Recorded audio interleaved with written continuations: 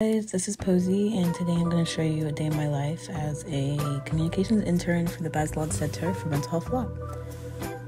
So, my days typically start around 8 or 9. I wake up, brush my teeth, shower, get ready, etc. etc. Uh, it was pretty warm out today, so I wore a pretty warm outfit. After getting ready, I walked over to Starbucks and I got a strawberry frap and a breakfast sandwich before heading over to my job at the Department of French and Italian, where I work as an office assistant, just doing some work for one of the Italian professors. After I went to my sociology class, where we talked about solidarity and community, it was really interesting today. Afterwards, I took a walk to my psych class, which I forgot to film. But after psych, I worked on an assignment for Bazelon, sending out emails for our campus mental health campaign.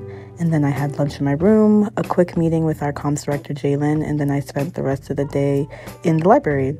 And afterwards, I just hung out with some friends in my room, and that's it. Thanks for watching.